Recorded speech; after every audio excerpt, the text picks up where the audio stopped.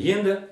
мен осында бұнды осы жаңағы осы түркес тәрбиелеп енді тәжірибені өткізіп жатырмын мына орданың маңында жүрген балдар ә, сол осы қағидасымен шешесіне соны осы орданың қағидасын ұнатып тіл көз жоқ та қанша не бар аруақтар не қылып тұрады анда санда шыраққа шыраққа алыстап тұрамыз міндетті түрде қатысып тұрады ана балдарда тіл көз деген жоқ кәдімгі немен өтіп бұл тіл көз тиеді бірақ дереу анау ескертеді қамшылап атамыз осының өзі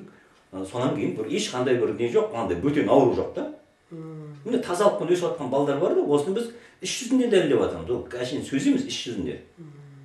мынандай жағдай болды енді қазір осы бала туралы бір бір келіншек келді алматыда ордамызға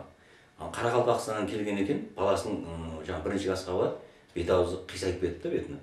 соны алып бет аузына соны дем салды деді сонымен дем салып сөйтіп жүрді да сосын бір күн сұрадым да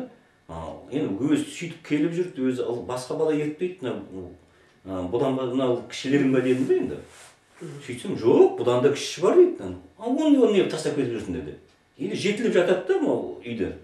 Кімге тастап бердің деді. Оны біз шығаруға қорқамыз дейді да сыртқа шығармаймыз не болды? дейді.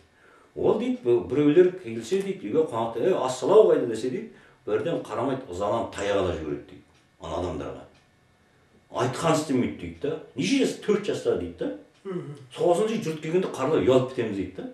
сосын айттым мен баланы алып келші дедім да алып келші деді әдейі жұмсадым алып кел деді не қылып алып кел дедім келді алып келді сосын бір жігіт қамшылады ана баланы